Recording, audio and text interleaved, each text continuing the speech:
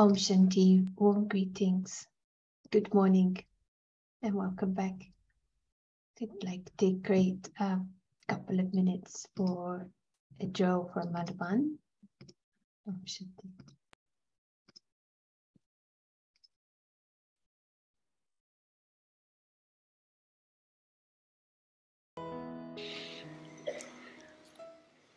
अभी दो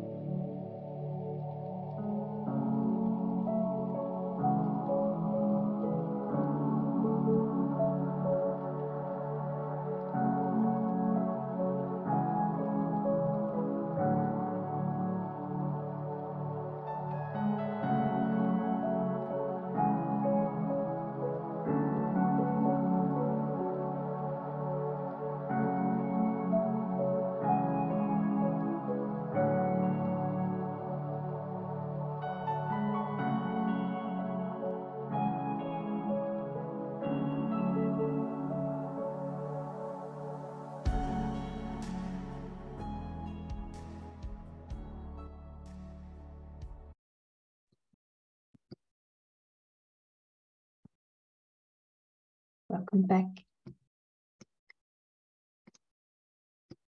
Today we had some really helpful uh, structures to reflect on the subject. Um, I just want to check, by the way, translation is fine. Uh, maybe some might need to just unmute from Stephen. Um, we had the analogies of the, the donkey that is uh, representing body consciousness, that state, and the ego representing soul consciousness. And um, exploring on this, there can be like happiness at the donkey level. I think it was called a club. So that is happening, but the independence of the ego and his life from everything of the, the donkey experience is completely separate. And um, I really like the reminder to start with the timeless scene that we don't start with the donkey and try to improve and evolve and become the eagle, but start with the eagle, start with the angelic soul. And from there, it is that consciousness that is experiencing the physical world and coming into karma and another structure which was nice that we are seeing others as the brother soul from the same home. And the analogy of seeing a close rel- relative if we were to see uh, sitting on the bus and that would be like a precious moment a passing moment if someone very close to you is there for a few minutes. But the same at another level that we are all these very close, loving souls in the same family coming here for a very short time. And that was the invitation to experiment with.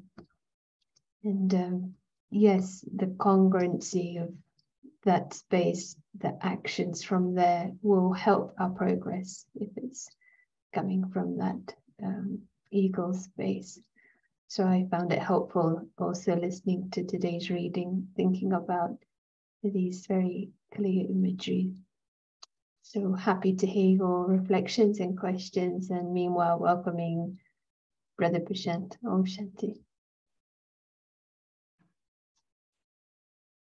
Hello and uh, good morning. yeah, thank you for quickly summarizing mm, what we discussed yesterday. and now let us create few more minutes of experience.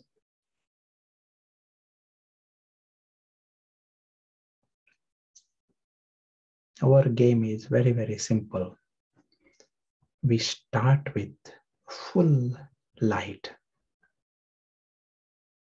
Since darkness is a problem, we, we don't operate in darkness, we go for full light. And in full light, we are able to see the story for what it is. In darkness, it had become our world. In full light, we are seeing it's fictional. It uh, repeats, and but enough to know it is fiction and that there is the real world beyond it.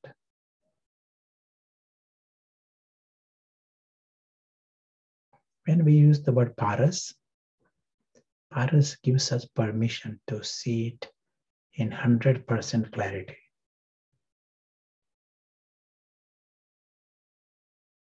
So we are seeing the real world and in the real world, there is the real family. They all look like tiny points.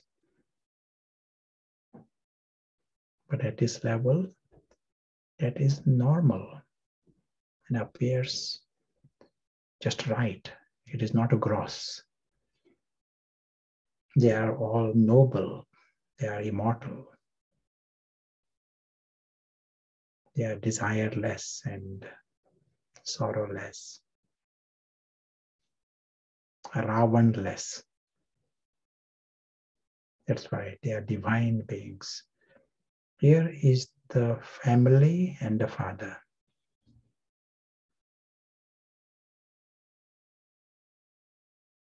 And this environment, alaukic environment, favors the soul. So you are creating full light and paras and this environment, alaukic environment. It is in this environment that the soul wakes up. And we use the word invisible player. That's an important milestone. He understands his complete independence from the story. He finds it absurd to create any kind of bondages in that temporary story. Even children don't create attachments in a story.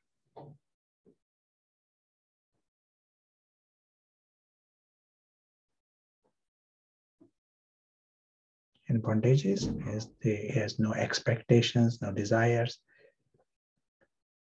He understands his independence. Whether that story is there and not there, it is not an issue for, for the invisible player his world is different, alaukic and eternal. His family, father, home, everything is independent and eternal. Invisible player, for him, that is normal. To be immortal is normal to belong to this supreme sky is normal. To belong to this immensely noble and uh, lovely family, that is normal. This region, auspicious region, a region of joy and love, that appears normal. For him, this is not a meditation experience. That is his life. To belong to God and to be loved by God, to have company of God, appears normal.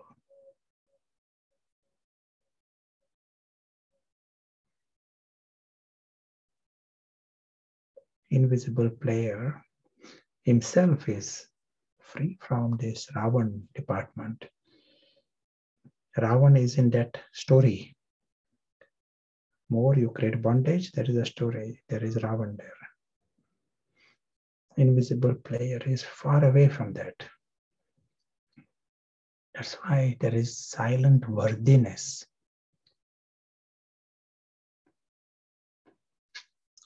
He feels worthy to be with God and be loved by God.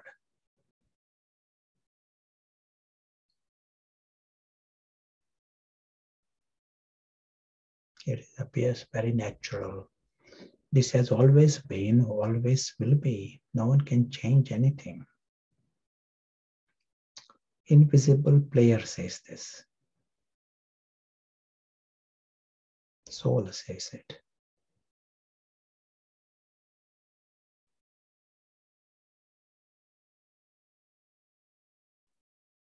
as we continue on our journey,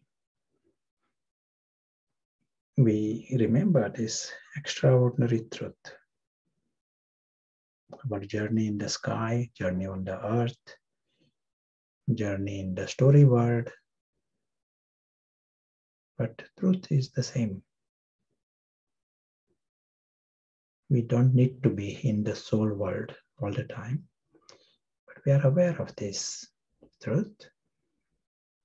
Invisible players will play, will come to the playfield invisible players are also the invisible travelers. But they, are, they remain aware of the truth, extraordinary truth, aware of where they belong. That is, they stay in that wisdom and full light.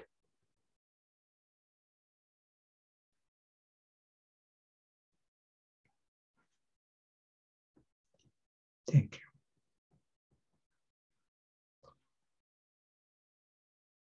I'll come to this, uh, our uh, reference yesterday, and uh, I know some questions. What does the donkey mean, and uh, what does the prince mean? There's some questions uh, come. Eagle and uh, donkey story. So let me come to a simple image.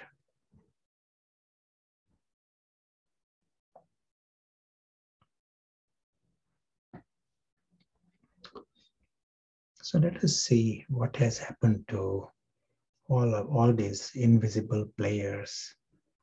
They are invisible princes. When we are using the word soul, they soul soul means they are eternal princes. They belong to the King of Kings. And they are immortal. They are divine beings. The world is good for them, life is good. And what happens as the darkness comes, there is a havoc. Hmm? That is what we mentioned yesterday. Darkness of ignorance creates havoc. So, if you are to see today's world and uh, come to some diagnosis, you have to tell what has happened to this to this world the first thing that the expert will tell there is a darkness, darkness of ignorance, which means there's confusion.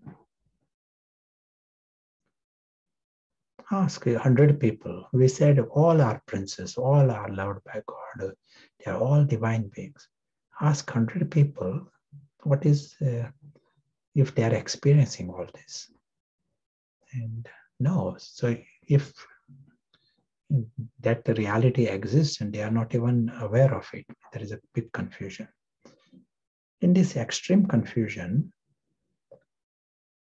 they have created attachments and bondages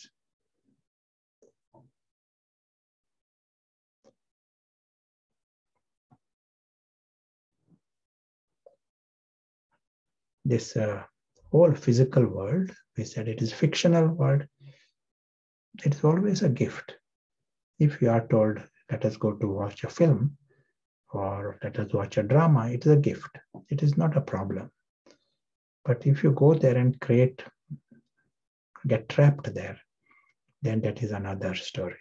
So in confusion, you get trapped in this fictional world, the bondages. But not many people talk about bondages. They don't say, I'm trapped, I'm trapped. What does that mean? If you meet 100 people, do they tell you that I am trapped, I'm in bondage? Maybe if few, few husbands might say something like this. but uh, if you talk about, talk to some people, how many people will tell you that they are really in a bondage of this drama. They are caught in the web. How many people will tell you? It's seen as natural. yes. Normalized, isn't it? and uh, another comment, don't realize. Yes. And the reason is they are unconscious. say someone has a head injury, he is taken to the hospital. First sign of the head injury is there is confusion. And some the functioning is not working internally, there is confusion. If the injury is getting worse inside, then confusion gets worse and and the next step is he becomes unconscious. So early stage at least he is responding to something that is better. Unconscious it is worse. Hmm? so also here this darkness of ignorance ignorance it doesn't remain academic. This invisible prince becomes unconscious that's why there is knowledge, one important step is soul becoming conscious. So there is unconscious, but no one appears to be unconscious. There is a full, everyone is busy. So how do you explain this?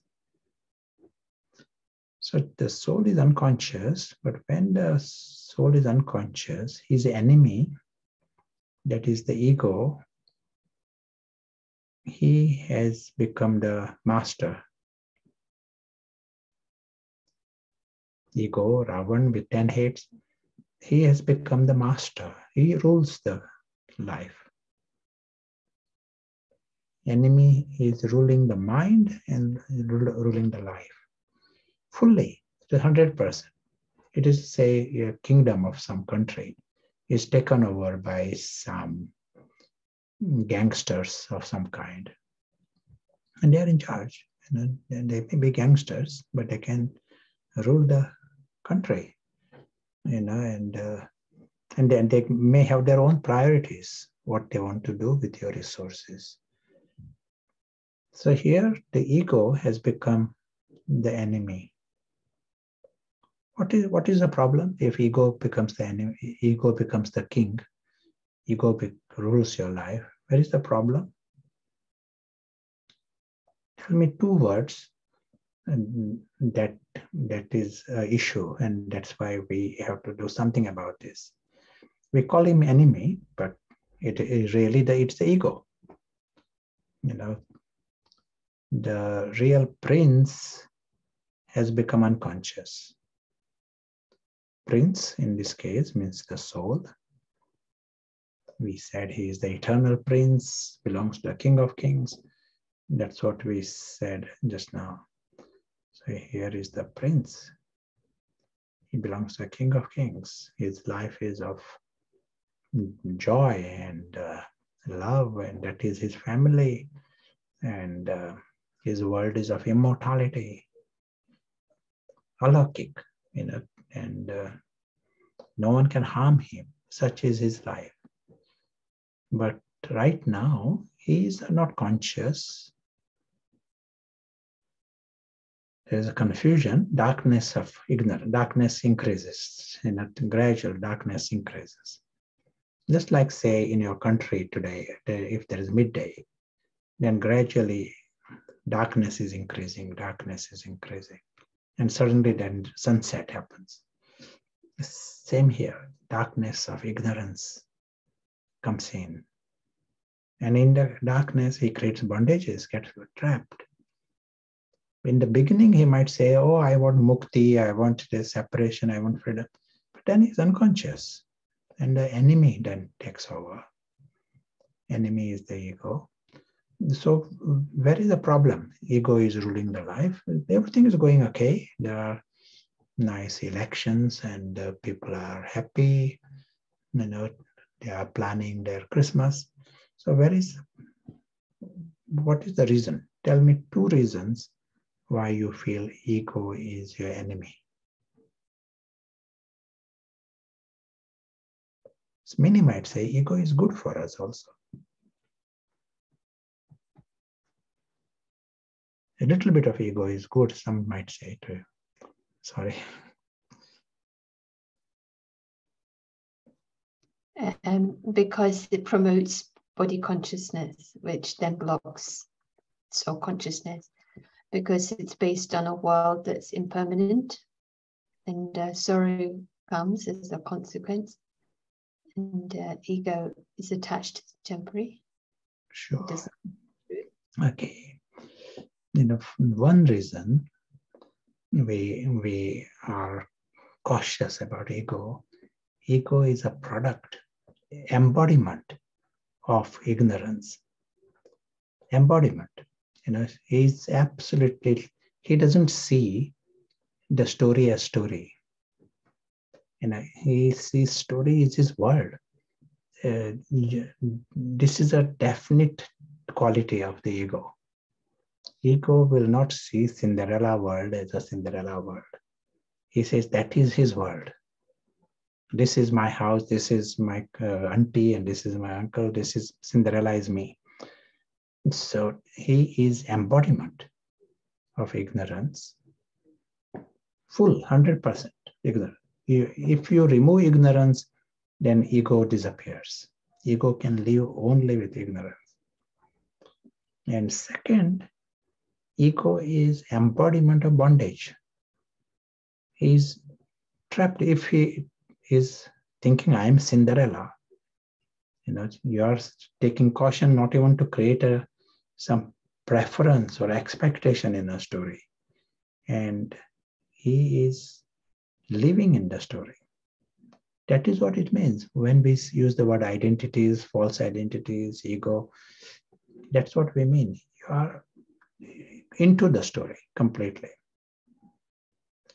And when you are into such a bondage, what happens? You can't prevent sorrow. Take sorrow, give sorrow, becomes the life. You are so insecure. You are absolute a victim. You feel you are a victim because the story is changing. And he doesn't realize he is in confusion, ignorance.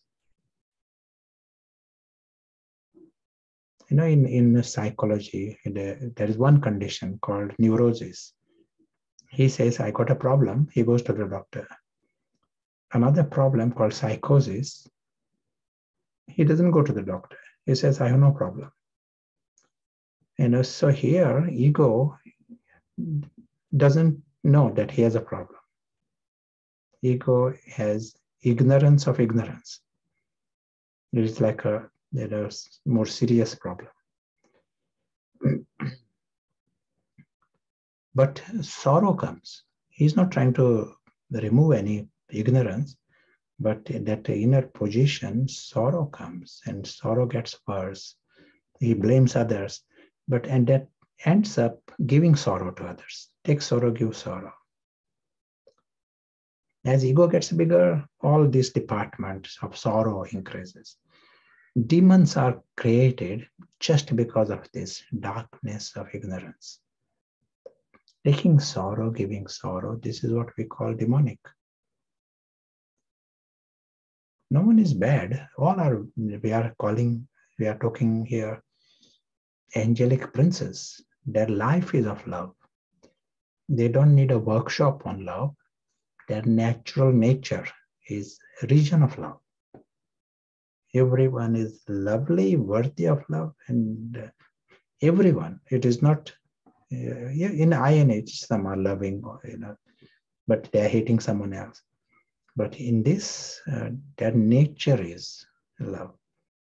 But when we are into this uh, darkness of ignorance, creates havoc. It creates demons. It creates victims. It creates beggars. So the huge chaos. You know, it becomes a society full of beggars, beggar mindset, victim mindset, orphan mindset and demonic mindset just because of ignorance. So if an expert comes and sees what is happening to this planet, say President Biden asks, you know, I want to know what is happening on this planet, and he calls the expert. Expert will give this report that uh, there is full ignorance and everyone is in bondage, including him. and sooner or later, they will take sorrow, give sorrow, that is going to increase, and and that is going in the direction of demonic tendencies.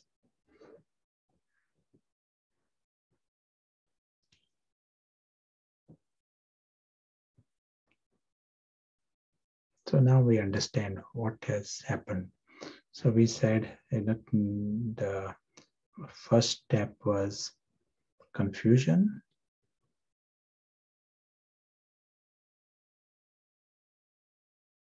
They create bondage.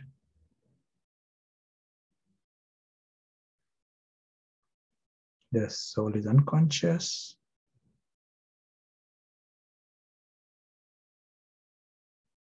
Prince is unconscious, and there is the enemy.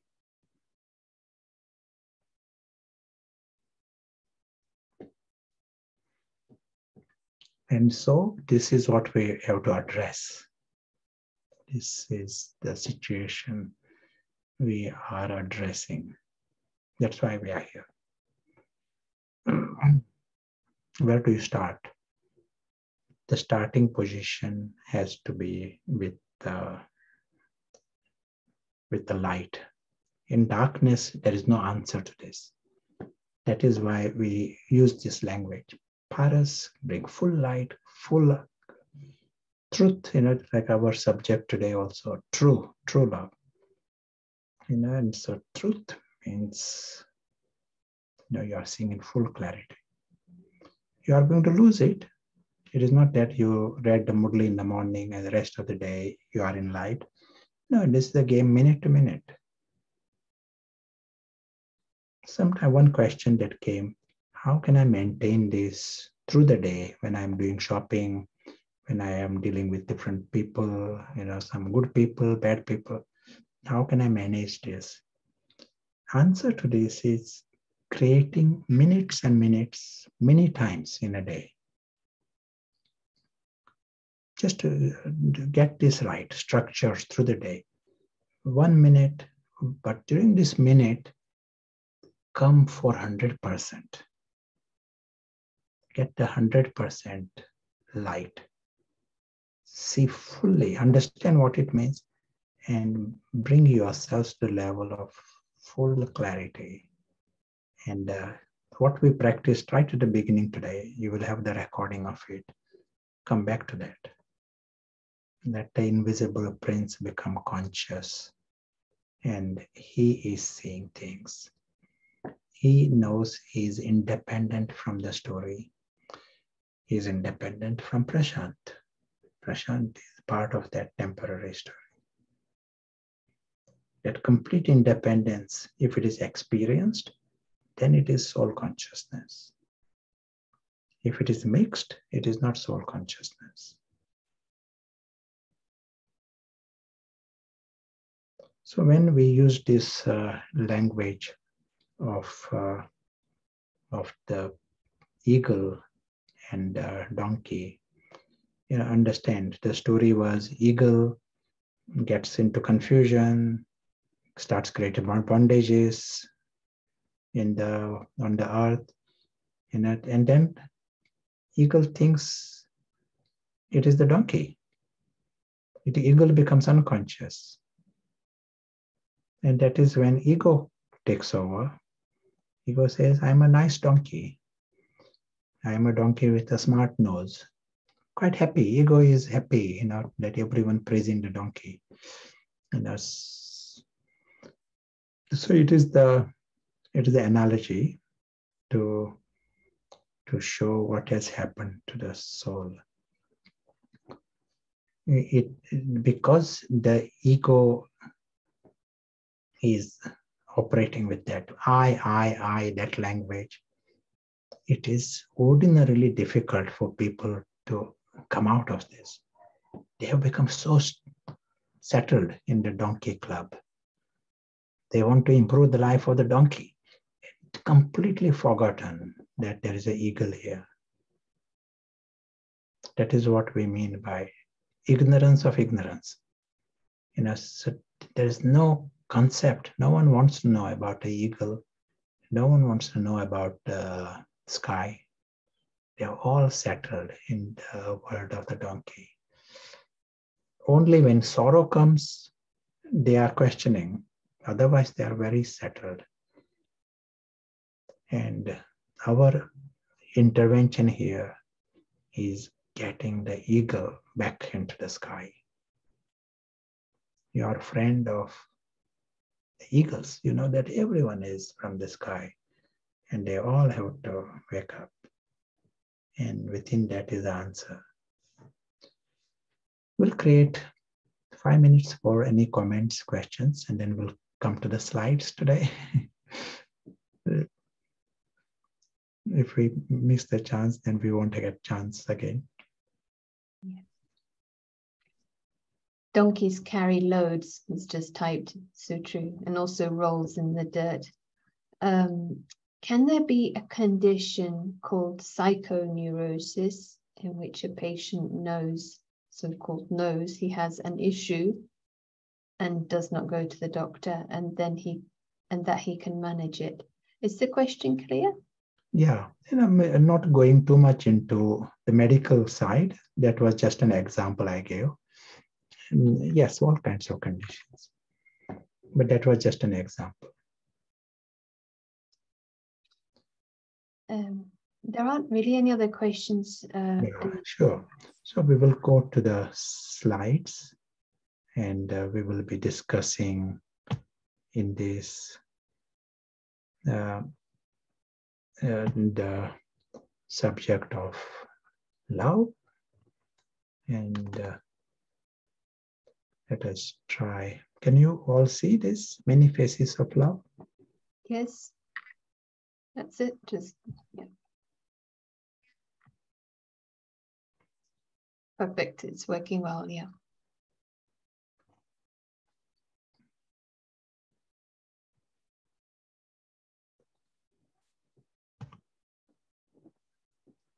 So you will be seeing many faces of love and let us see Nice.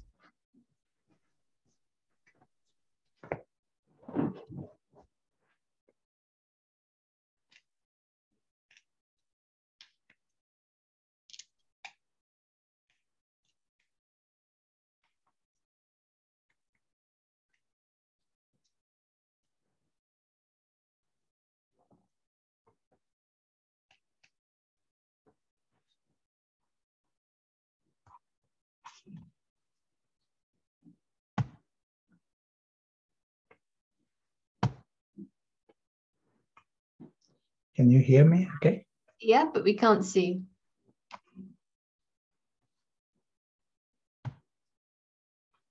So we are seeing these principles, principles behind love.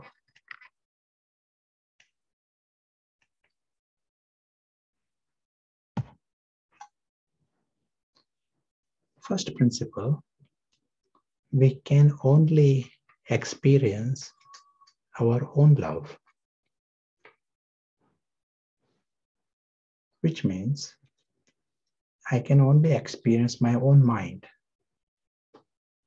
I cannot experience someone else's mind.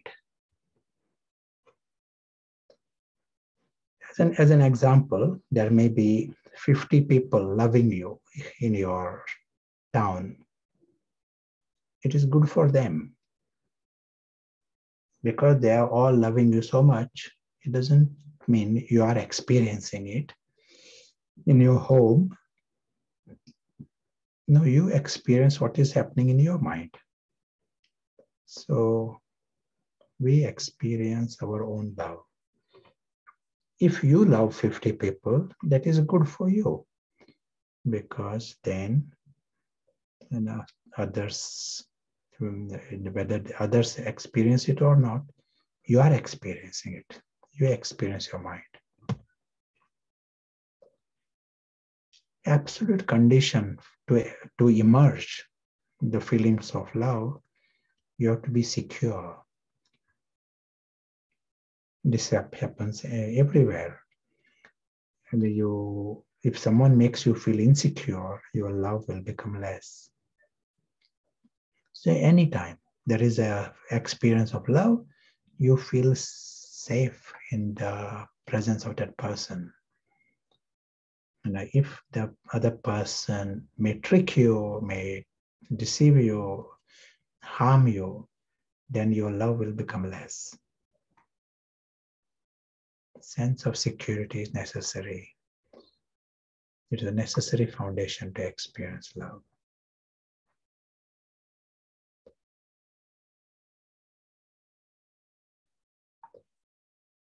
And so it can happen. More a person has got ego, and more person is trapped in that story, unpredictable story. His insecurity, you can't uh, solve it. And the demon means he, he feels very paranoid and very insecure, and then you can't solve it. It is a then love becomes less and less. He can't genuinely love. Pretense of love is not love. That in there lots of songs are going on and people can be talking about love and so many cards and gifts. We are not talking about that. Feeling of love in your heart, that you, you can do that only if you are very secure, fully secure. Who can ever be secure? invisible prince because he's free from the story, independent from the story. That's why he is absolutely secure. Story cannot harm him even the slightest. This has to be underlined and experienced. We need to, for one minute, come to this realization so this moment in the story, someone may be really planning some conspiracy against you. Someone is trying to beat some things. There are many things are going on. Someone has done something wrong. But when the invisible prince is conscious, he realizes it is all a joke. It is all happening in the Cinderella world. And the invisible prince is totally beyond it is like a joke to feel the, the insecure because of that is another joke. It is just like children to get frightened watching a cartoon you know something happening in cartoon. It becomes another joke to see children you know hiding behind another chair.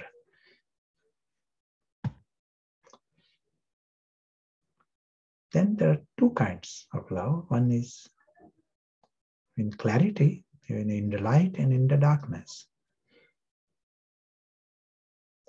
In darkness, that love is that's what is, we hear all these songs that uh, we hear in the Iron Age, they can only be the songs in darkness.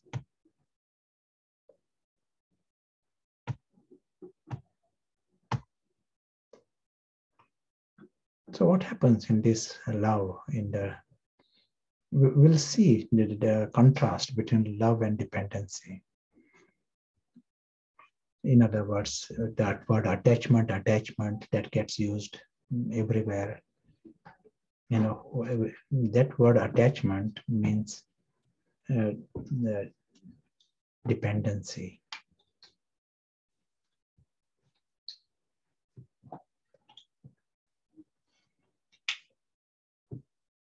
emotional dependency, then we use the word attachment for it. But uh, I uh, did try to avoid that word as far as possible. The word dependency is better.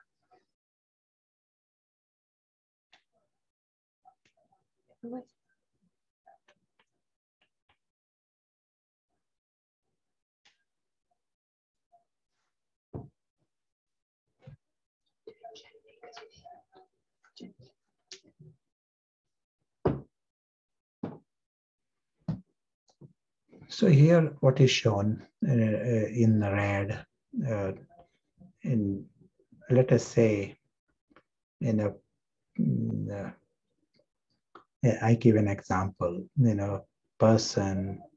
Um, the mother and the son. I give this example: mother and the son.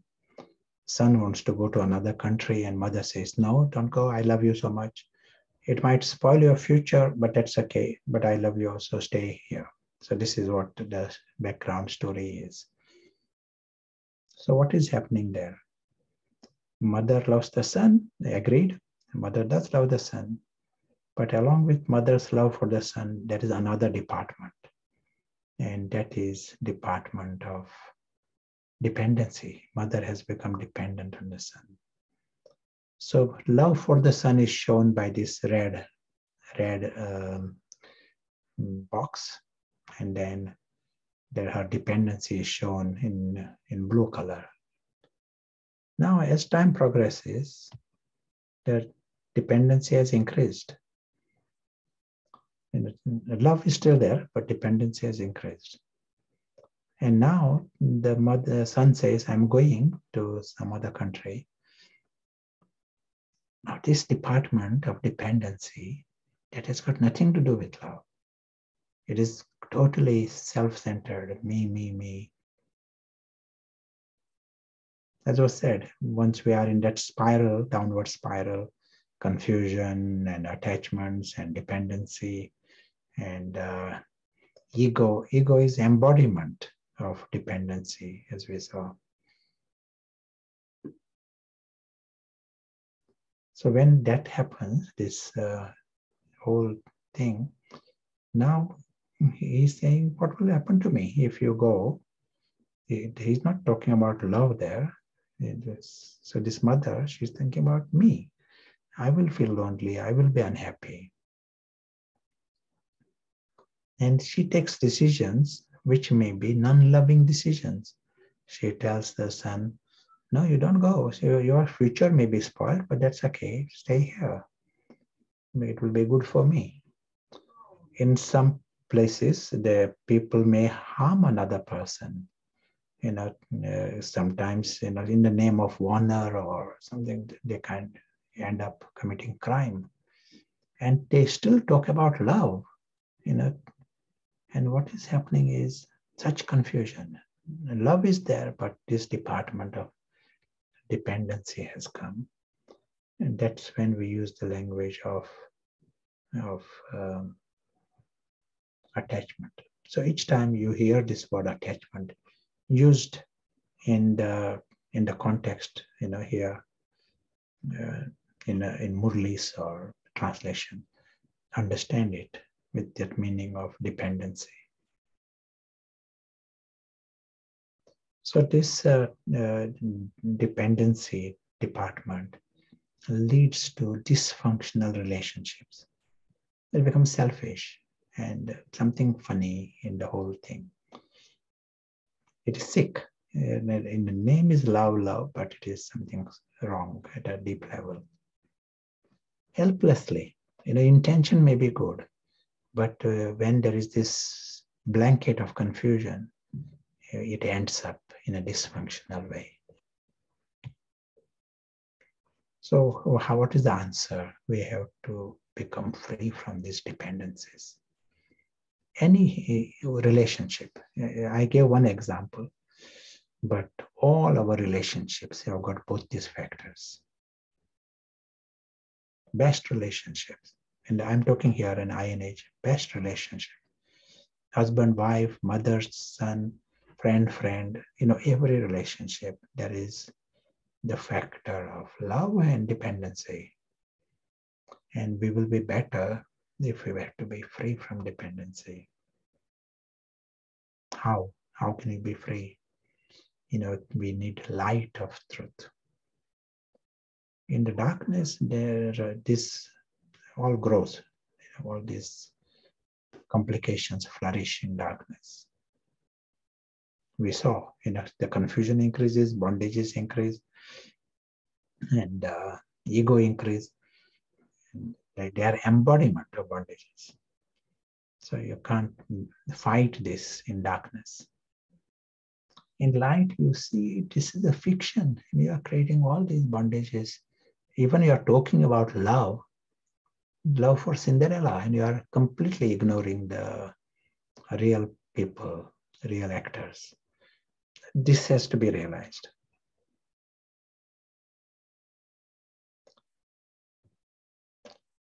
Here also we are seeing this uh, love department of love in the ego-based love. It is shown here in blue. And, uh, and we are seeing these 10 heads of Ravan. They, they flourish only in ignorance.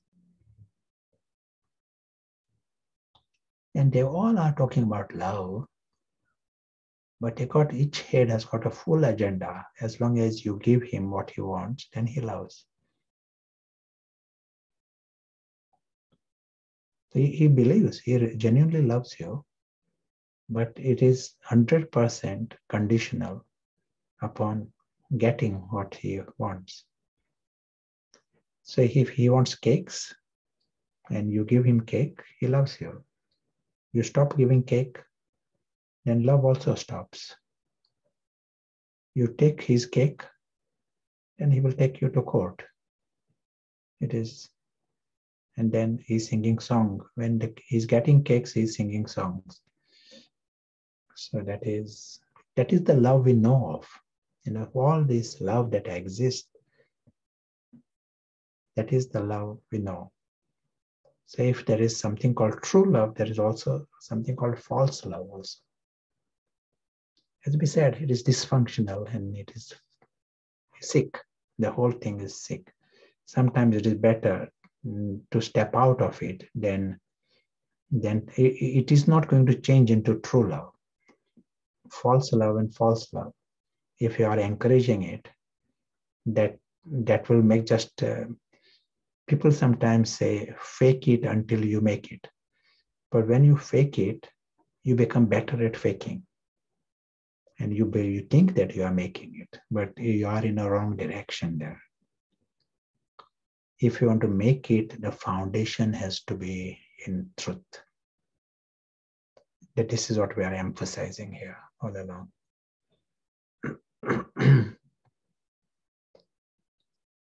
so it is like a Dr. Jekyll and Mr. Hyde within us. All this ego and Ravan, it is shown as representing Mr. Hyde.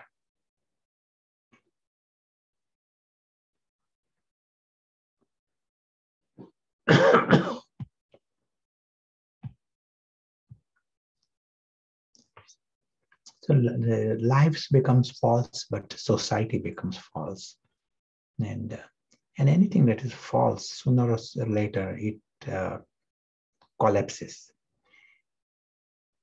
You can't uh, build a uh, building on a false foundation, weak foundation.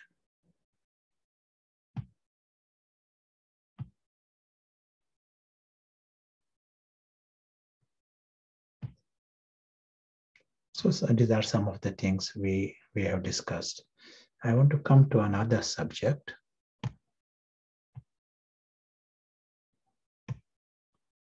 And this is the subject of displaced love. I'll tell a story that may help us understand this. The story is about one man in Cambridge. His name is Derek the people involved, you know, they tell me this story. The Derek, uh, he works for the foreign office. He, he, was like a ambassador kind of job uh, during his active days, and uh, and he has a dog. Dog loves him, and uh, when the when Derek is in bathroom, dog goes sits outside the bathroom staring at the door. When Derek is in the bedroom, dog goes, sits outside the bedroom, staring at the door. You know, wherever dog, wherever Derek goes, the, the dog is following. The dog wants to know where Derek is, and uh, he can't stay very uh, very far away from Derek. So, mm, no doubt, the dog loves Derek. Anyone loves you like this? loves you so much. Now, as was said, Derek uh, travels. You know, Derek goes to some other country, sometimes week or longer. And when Derek is away, dog is without Derek. So what does he do? He carries the shoe of Derek and protects that shoe as if it is Derek. What his emotion for Derek, same gets displaced to the shoe. He carries the shoe, keeps it wherever he's going, and protects it. He's staring at the shoe, you know, and until Derek comes back, then he's not interested in the shoe, and then he go found Derek again. So we call this a case of displaced love. You know, it shifted from Derek to the show. Does it happen in human beings? Do you know anyone? Example of displaced love? Do you know anyone in your life? In your town? Anyone exhibiting displaced love?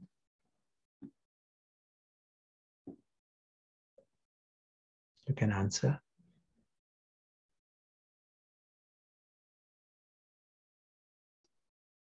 Um, yes, and one example is photos that can be kind of kept and uh, the memories of a person, maybe if they've passed on. Yes, that's true.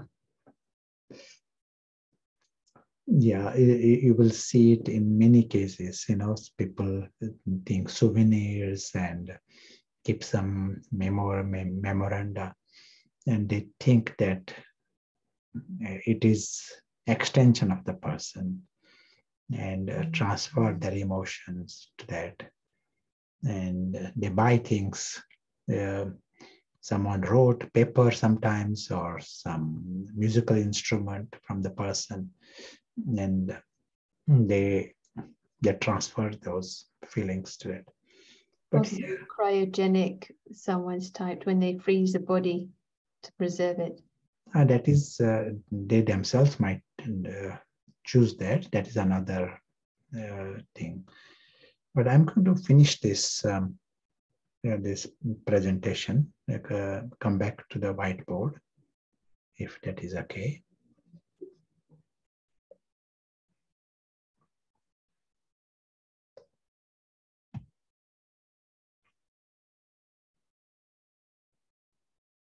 You still need to press um, red button, I think. Yes. Someone has written, we transfer our love to the donkey. Yes, yes. So here I'm uh, showing another case of displaced love. And let us let us try to get that right. So we said our starting position is here is the prince, invisible prince. He is loved by King of Kings. He belongs to that world. He needs nothing from anywhere. Mm, he is beyond harm. He's secure totally and he is full 100% light, 100% clarity. That, that, that's why he's free from ego and Ravan. That department is not there in him. There is a story here, and uh, that's nice story. That's great, you know, but he has he, he's not creating any bondage in that story.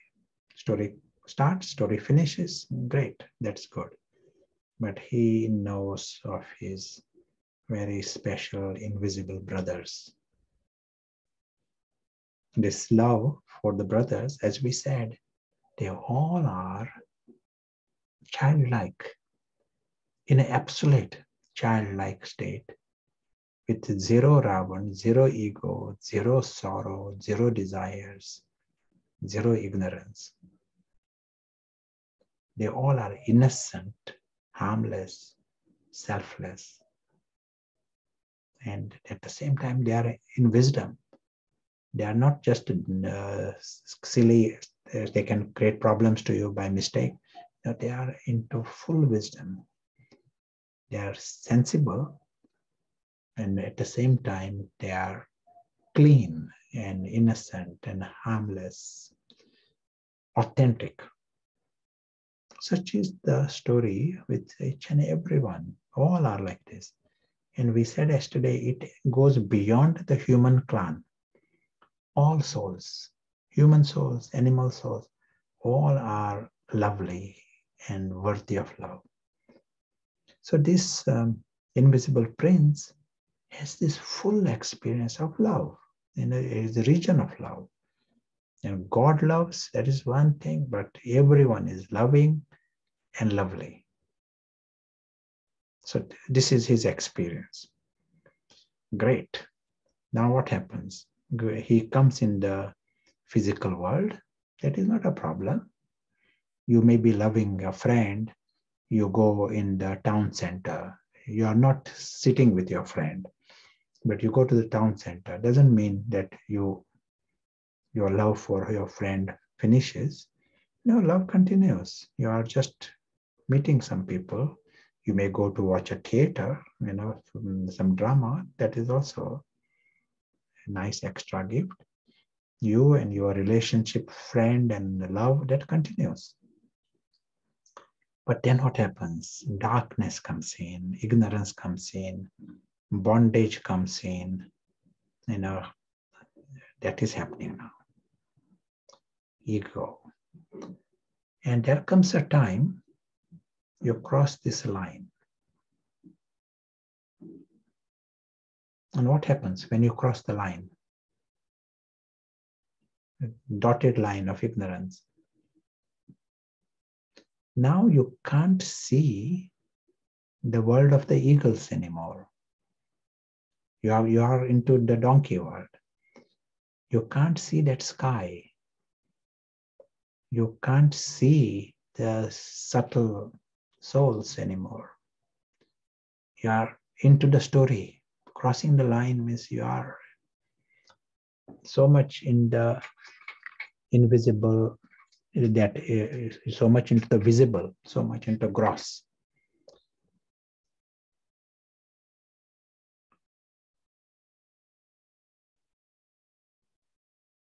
In other words, you cannot see Derek anymore. You know, the Derek is there, but your sight, your spiritual sight is gone. You are not Paras. And um, you are you are caught with the Pattar intellect and with the ego, you are caught in the story. You can see the shoe, but you cannot see Derek. In this case, Derek is there, you know, in other words, the soul is there, but you cannot see him because you don't have the paras intellect. You don't have the sight. So what can you do now? Just like the dog, you know, he gets attached to the shoe in the same way these invisible princes now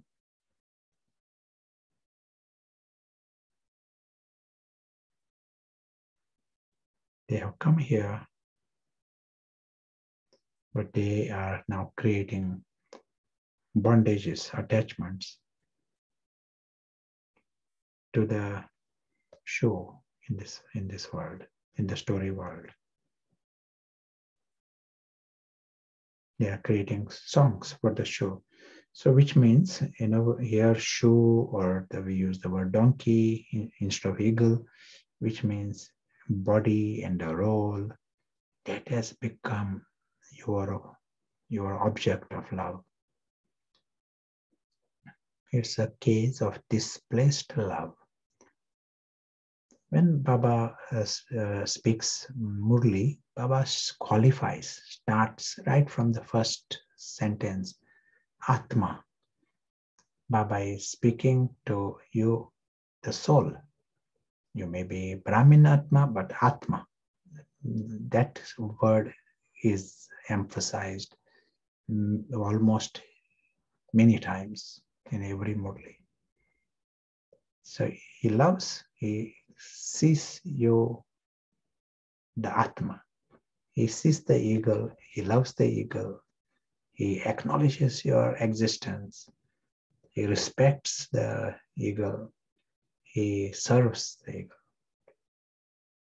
He wants the eagle to fly. That is very different to the language that someone loves the donkey and serves the donkey, want to see the donkey happy. It is not the same thing. Now and then you might use the language soul, soul, soul, but your vision is at the donkey level. Your positioning is at a donkey level. That is case of displaced love. You want to say anything? Do you know anyone who is experiencing this displaced love? Loving donkey and completely ignoring eagle. Do you know anyone?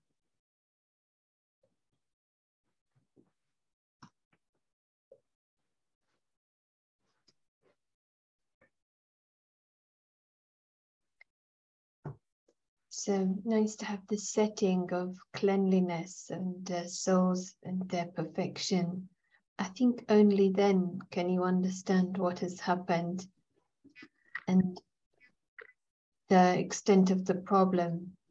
Somehow it might be hard to grasp how we have displaced the love until we have really grasped the, the starting point, if that makes sense uh, because everything has become so normal in body consciousness we have to um, really work at the uh, what does it mean? What does it look like this clean innocent harmless lovely um, then you realize how much power is there and how complicated it is when we've when we've lost the the the reference point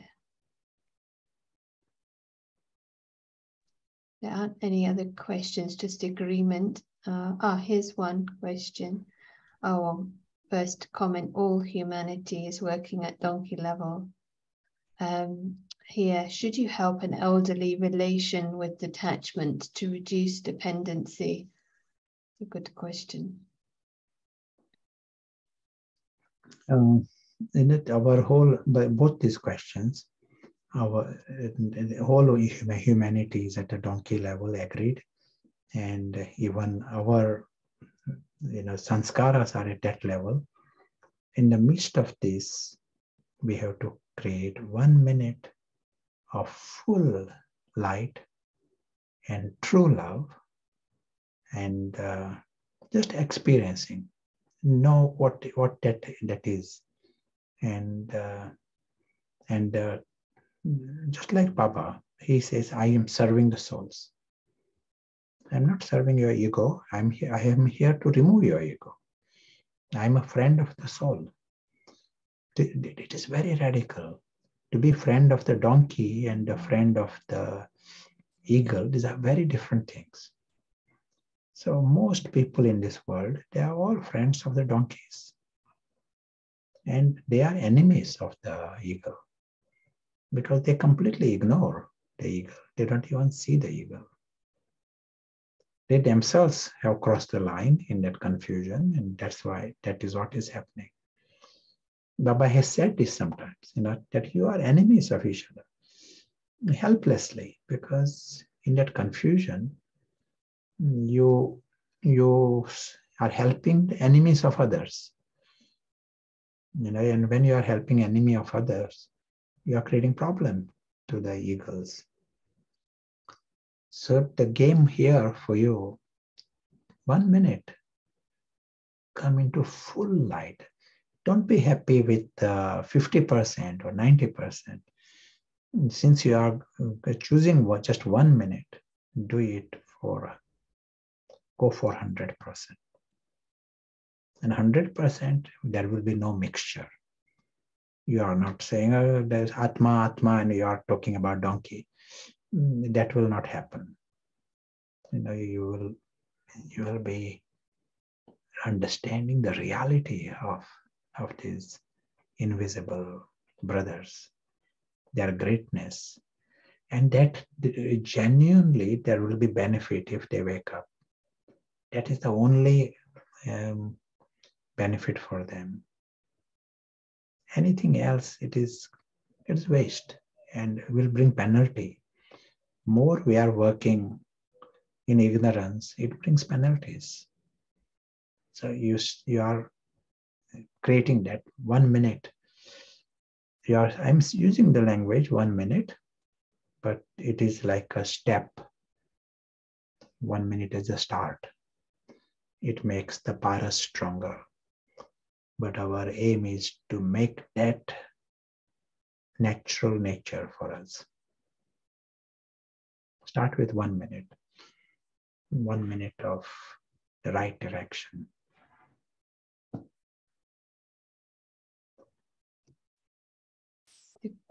Sort of the question about should you help elderly relation with attachment to reduce dependency?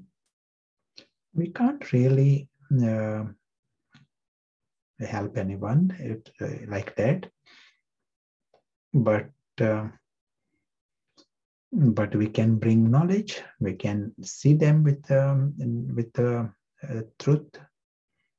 If they don't even have knowledge, they will not just become free from attachments or detachment. But if you have the intention, that is good enough. But let us apply that in ourselves, and that will help others to some level.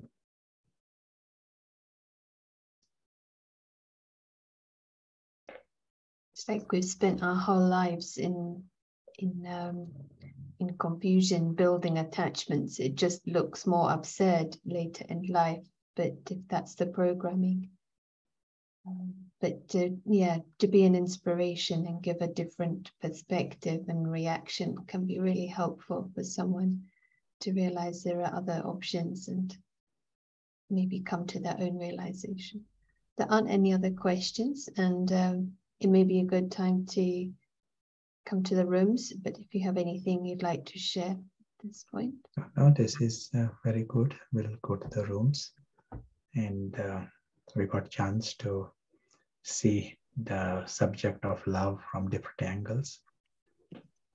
And uh, what would the question be that you'd like to bring? You know, to understand the difference between false love and true love what how will it present how will it be experienced that is the most important thing for us. Mm. so just to mention after rooms uh, all being well we'll be joined by brother charlie in australia. Um, so pop the discussion question to begin uh, in the chat. And um, we've made it so you can change the room if you need to and we'll meet back in uh, just over 10 minutes.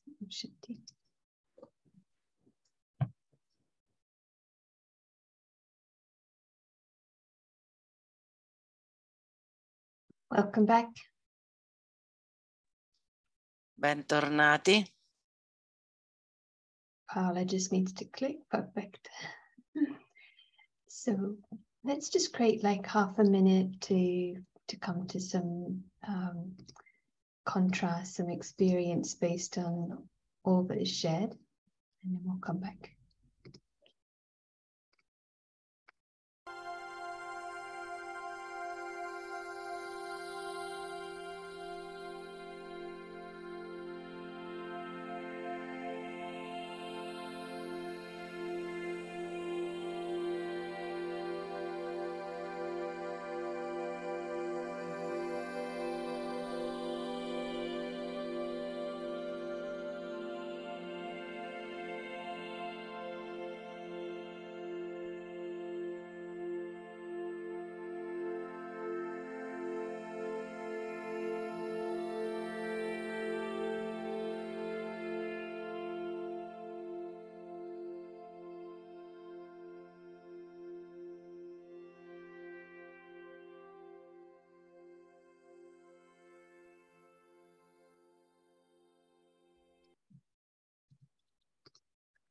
You. And um, really uh, happy to have this opportunity to wish good evening to Charlie, who's joining us from Australia, I believe Sydney.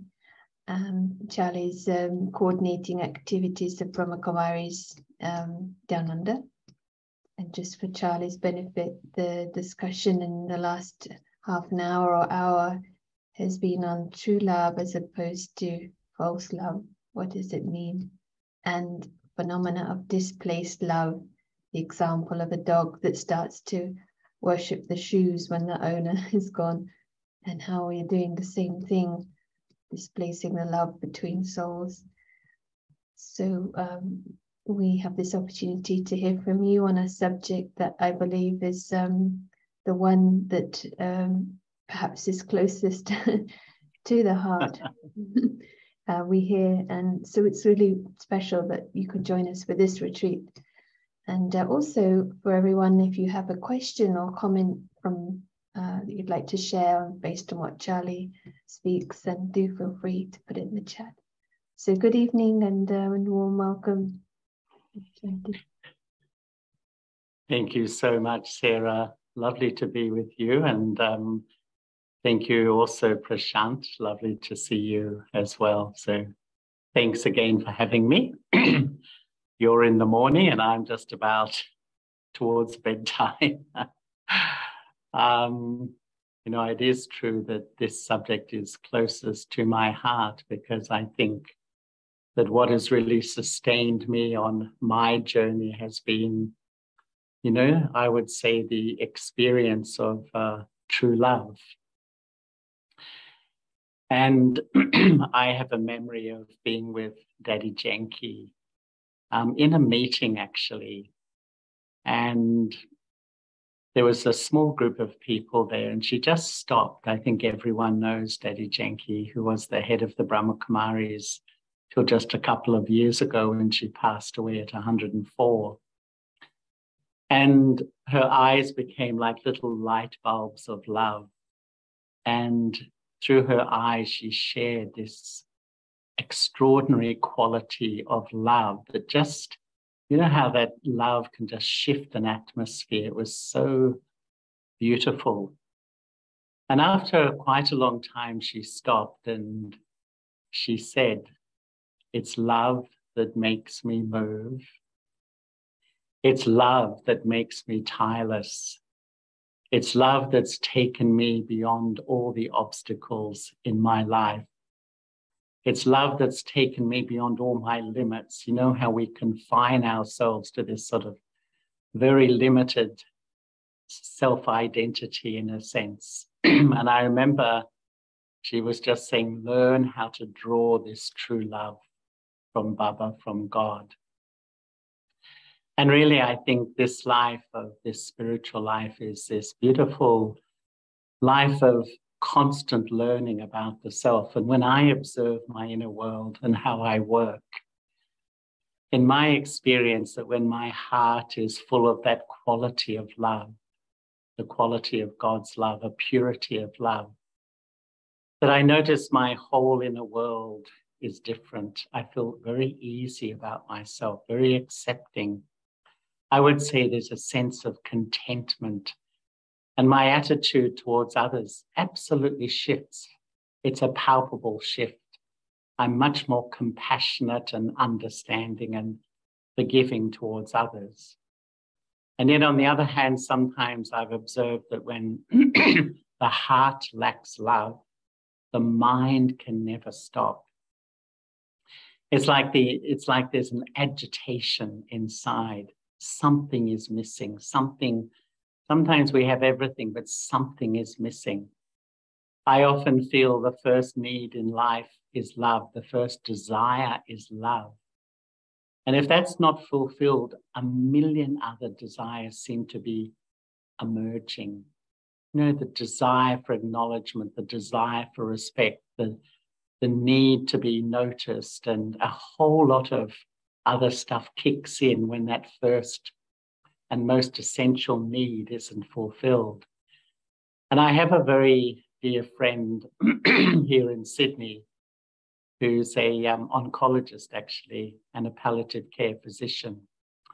And he was telling me once he went to a workshop with Elizabeth Kubler-Ross, whom I think many of you do know. And it was about grief. She ran these workshops about grief. And during this workshop, a whole lot of grief came in him about the loss of a little sister. Um, his little sister died in, of cot death when he was 10 years old. And he was explaining how he went through so much upheaval internally. And Elizabeth Kubler-Ross came over to him and listened to the whole story. Very, very sweetly, he said, very patiently. And once he'd expressed what was inside, she said, actually, that's not the original grief. The original grief in the human soul is that I, I lost perfect love. I disconnected from this divine love, from this true love. And I think that it's true that sometimes we have losses in our life and it seems to open a deep wound inside us. And to me, I think the greatest sorrow in the human soul is this, this loss or this loss of access to this divine love, this pure love, this perfect love. And when I began my spiritual journey, I have a very clear memory. You know, we all have that that beginning point where I was just trying to sort things out inside my head. And especially, I had been on a whole journey wandering around the world for a few years, living in religious communities. And um, I was just trying to develop a connection with God. And I can remember clearly walking down the street in London, actually, thinking so deeply about Baba and really who is Baba and this relationship, this connection. And it's almost like there was a pause button on time and I felt absolutely love to the core of my being. It's hard to put into words that it was a love that just went to the essence of who I was. And I felt this, this feeling was so incredibly beautiful and the only thought I had was, I've come home. This is actually what I was looking for. And I think this is really what the human soul searches for a sense of connection that's permanent, a sense of belonging that's permanent. And sometimes I feel, you know, what is meditation? We can give a very technical explanation. But ultimately, to me, I think it's becoming soul conscious, letting go all the temporary self and becoming that seed and sitting in front of God, sitting in front of the ocean of love and allowing myself to be completely loved. It's like the whole inner world cools down, becomes still. Such a sweet experience.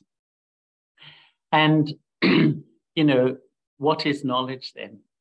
Knowledge is then seeing what is blocking that love.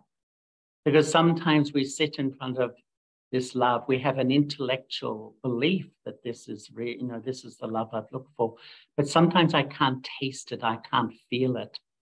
And I think this flushes out probably the, the biggest challenge on the spiritual journey is to deal with this sense of unworthiness, this sense of inferiority, this sense of you know, not being good enough that has been so deeply entrenched in the psyche of the soul in my search for my truth.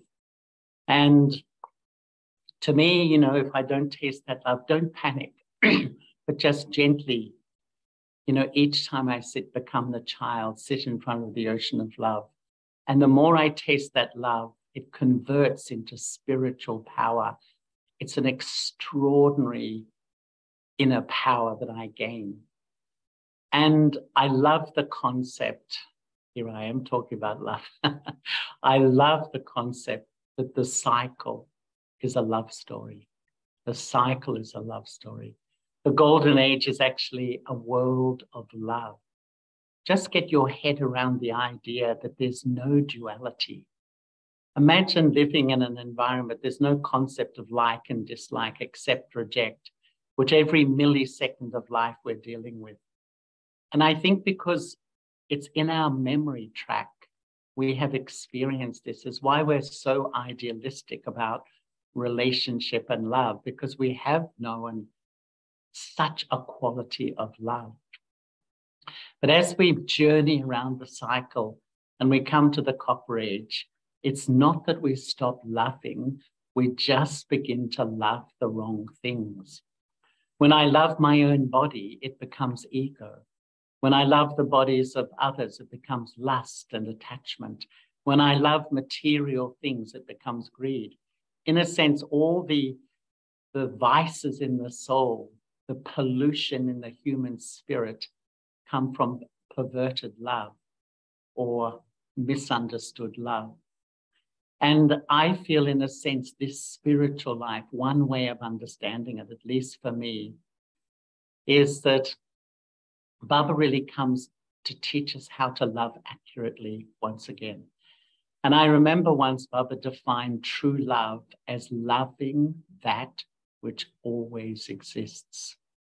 This is incredibly profound and deep that true love is to love that which is permanent, eternal, which always exists. And this whole education, in a sense, we all know that when I attach my heart to anyone or anything temporary, we know we build fear, we build insecurity into our lives. And so, this extraordinary education we are given at this time is to, in a sense, refocus our love from temporary to eternal, from physical to spiritual, from love based on emotion to love based on truth. You know, that love based on emotion is that very fickle love that loves you one day and can't stand the sight of you the next day. But love based on truth, it's like we have this idea of a loving intellect. And this is love based on understanding. This is the love that will love you in a good mood and will love you when you're not feeling so good. This is the love that sees your beauty and fixes its vision on your beauty and even if you fluctuate or go through ups and downs, that this love is permanent. This is true love. And even I would say from dependent love to pure love, it's this extraordinary education of refocusing my understanding of what love is and how to love. This is like the learning we receive at this time. And in a sense, sometimes I think all I have to do is love that which always exists and I will become pure. I will really clear my account and become a pure soul. When I love God as a soul, when I love myself as a soul, and when I love others as souls, that is laying a foundation on that which always exists. And so I'm building true love back into my life. And in a sense, this body conscious ego, which all of us grapple with on this journey, is really a pollute, it's a pollution in the soul as we know. And what is the role of ego? Ultimately, for me, the role of ego is it makes me feel separate. It tells me, and it's so powerful in my head, that I don't belong, I'm different, people don't want me. It not only makes me feel separate from others, it makes me feel separate from my authentic and true self. It makes me feel separate from God. And I feel it makes me feel separate from truth as well. And so the more, you know, I become soul conscious, in a sense, I'm stepping back into the world of true love. Anyway, I'm going to put a pause button on myself. and because uh, Sarah was telling me just a few minutes, and maybe we can have a few questions and chat. So thank you. Thank you very much. Um, and it's really kind of complementing what was um, discussed earlier. I was just thinking in my mind while we wait for some questions to come, do we have to go through a period of like they call cold turkeys, like the withdrawal symptoms of this false love, which is eh, like attachment, and um, we have to untangle ourselves because Shant was saying earlier, the world is in falsehood, but also our own sanskars um, have been programmed from the last half cycle. Before we're able to really maybe there are things in parallel but how do you see that transition because my concern sometimes is that they don't get mixed up that we, we want to be really clear that the love for what is permanent, as you said, is really definitely for what is permanent and not a little bit mixed with the wrong things, the role, the body, etc. I hope the question. Yeah, I, I totally agree, Sarah, that um, the cold turkey does happen because um, you know sometimes I feel there's three sources of love in life. There's you know my family, friends, others. There's love from myself, secondly, and love from God, thirdly. And I think, you know, love for myself, that's probably the hardest thing most of us find. It's the biggest challenge in life. Love from God. I think a lot of people have faith in God, and um, but to really have an intimate experience of love and belonging, I don't think many have that. So my one source of love is really others. And that's been such a deep programming in my psyche that it's other people who are going to fulfill what I need in life. And so my whole mindset is extrovert looking for others. And sometimes I feel that the mind is like a vacuum cleaner, you know, that if you give me love, you know, I suck it in. If you give me respect, I suck it in. But if you give me, ins- if you insult me, I take in that. I, you crit- I take in absolutely everything. Because the programming, the great myth is that love is found externally. And it is the, the transitioning of really understanding how to absorb God's love. And, um, and then actually the wonder is that of that is I become naturally detached and I can really love others as I really feel I would like, you know, like to love others. It's a natural byproduct of loving God and this relationship with God.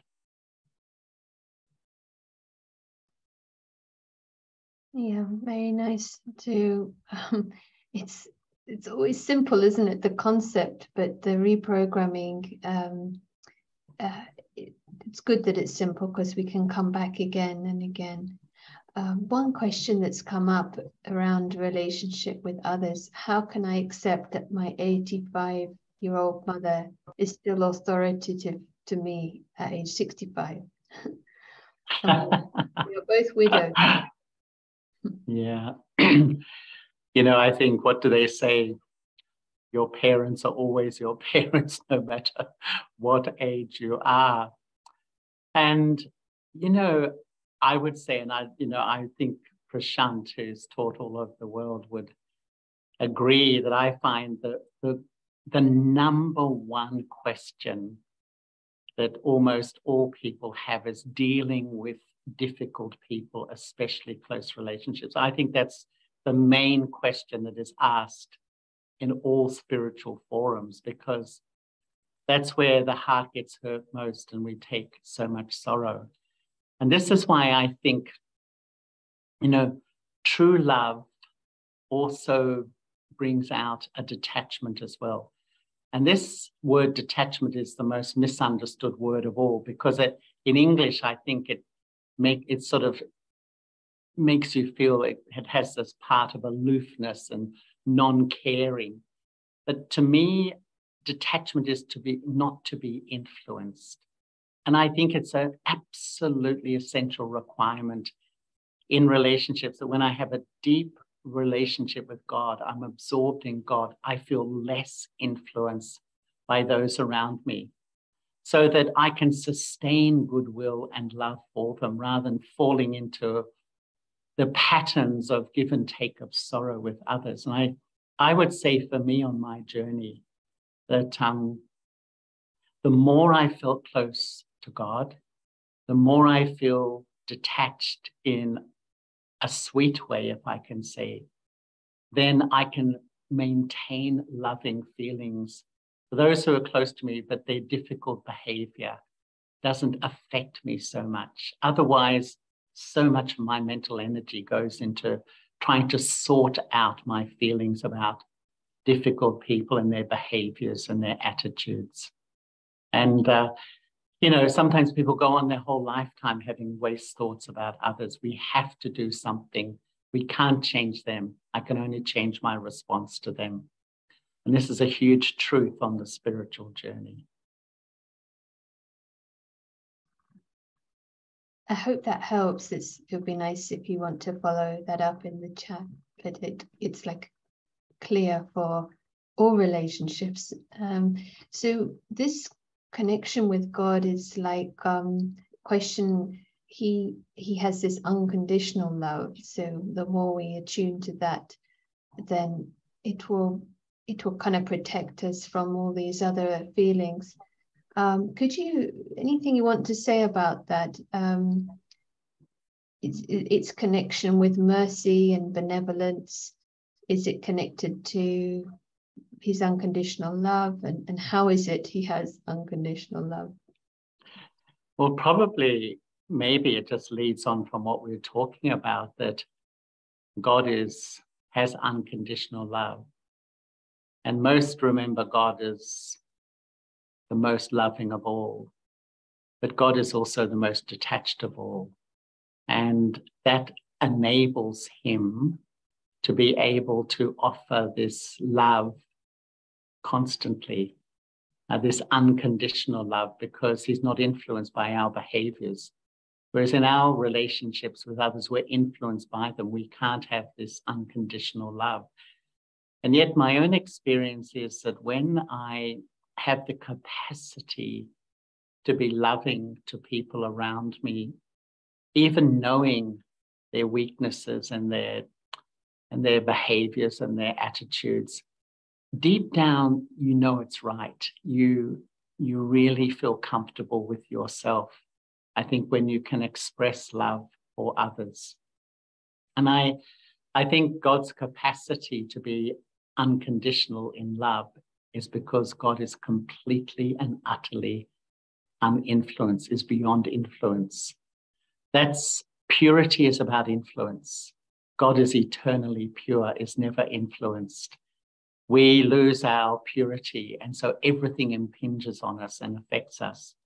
And the spiritual journey is, in a sense, healing me of all the things that influence me, the, the habitual patterns of absorbing from others and then being disturbed, affected, upset, etc.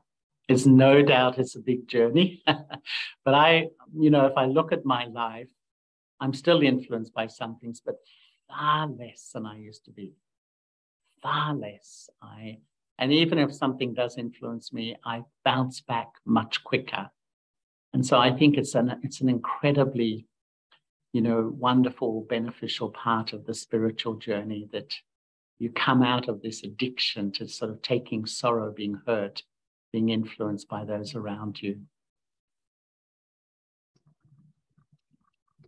Yeah, that brings back a sense of, I guess, self respect when we feel that in ourselves. Um, Prashant, would you like to share anything or have any comments or questions? Hi, Charlie. Hi, Prashant. Lovely to see you. yes.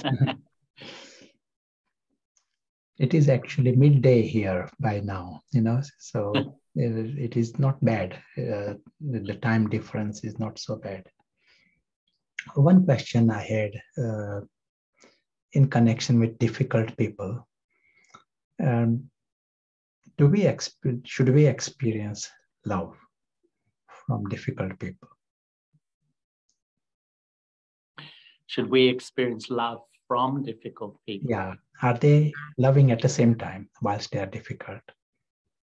I think so. Sometimes they can be. I think people, we all have our idiosyncrasies, don't we? And um, you know, I think, where are we going on this journey?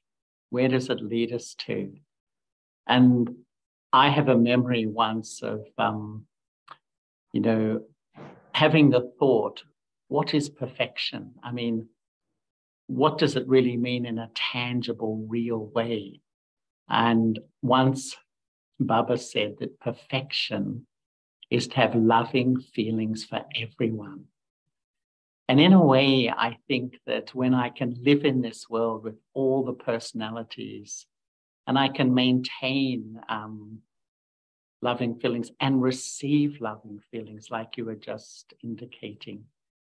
It's a sign, you know, really where this where I've reached, and that, you know, my mental accounts with people are finishing in that sense. So I think it is possible. I think it is possible. And I, I feel when my attitude is benevolent and loving, it brings people feel that and they respond. It's like a blessing from the hearts of even a difficult person.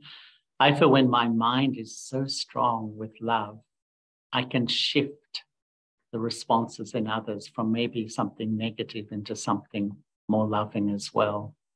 So, yeah, I do think it's possible. What do you feel? yes, you know, I totally agree. they are uh, also you know, innately loving, and uh, and just that we have to learn how to tune into that, uh, to to get our uh, receptor tune in to the right frequency. yeah, absolutely. it's they, lovely. They are our teachers, and there's always love for a teacher. So they are giving us a good lesson. no, I heard one say um, a guru had an ashram actually in in in uh, Europe, and there was someone working in the kitchen who was incredibly difficult, and no one could work with that person, and they left and the guru invited them back, and it caused uproar in the ashram. You know, that people felt happy that this person had gone. And the, they said, How on earth could you invite this difficult person back? And the guru said, Well, he's your main teacher. He's a better teacher than me. so, you know, sometimes we need a lot of um, understanding to think in that way. yeah. it's so true, isn't it? It's like a real test because otherwise, um, from the ego perspective, I'd much rather someone be pleasant and polite to this this role than not, and that really shows the the extent the ego is there. But if if there is that um, equal, uh, no matter what the role is, then one is really come come beyond the the physical and into the unlimited, then that that is the true love. So it it's quite confrontational, but yeah. yes. So um, we have come to time. It's gone very fast when we're talking about these sub subjects of um, great interest. But if there's anything final you wish to share, and then um, any any words of meditation um, to go more into the experience would be great. But just before that, I will mention um, we have a retreat. Um, the next advanced retreat will be in three weeks, and it will be a slightly later time. So if you're in the wrong time zone, you can always get the recording.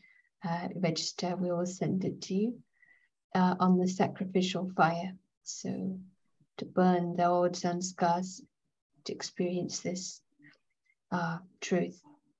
And we'll be sending an email to you with the information. And um, yes, when someone's typed in the chat, no friends, no enemies, only teachers. Very nice. so good. So uh, handing back to to Charlie and um, It'd be nice to hear some meditation and any final thoughts.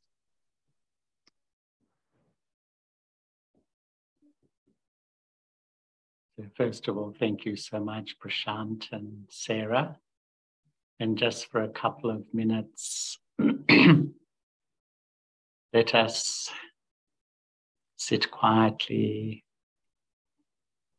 put down devices, etc.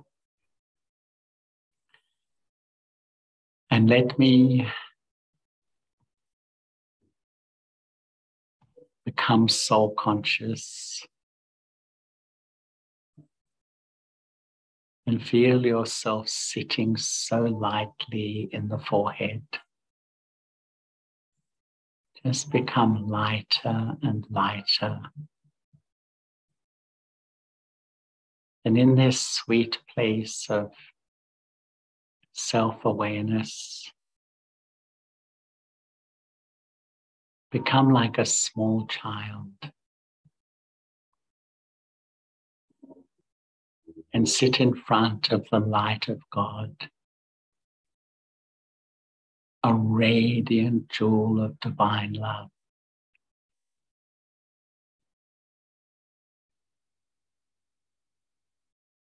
I don't just have faith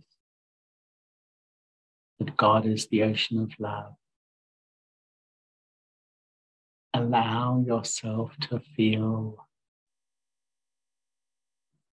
the vibrations of the highest quality of love I can experience.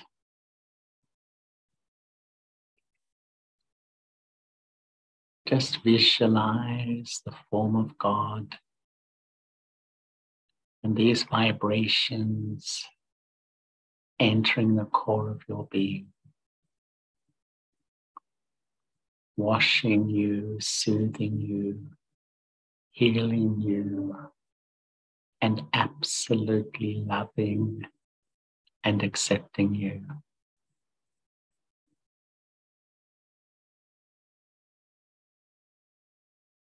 The more I feel this divine love, my self respect is restored. And my inner power returns.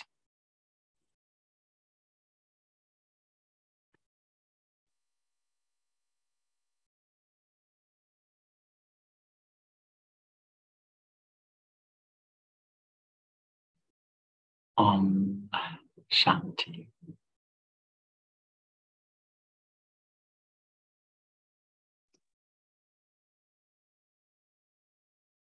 Om Shanti.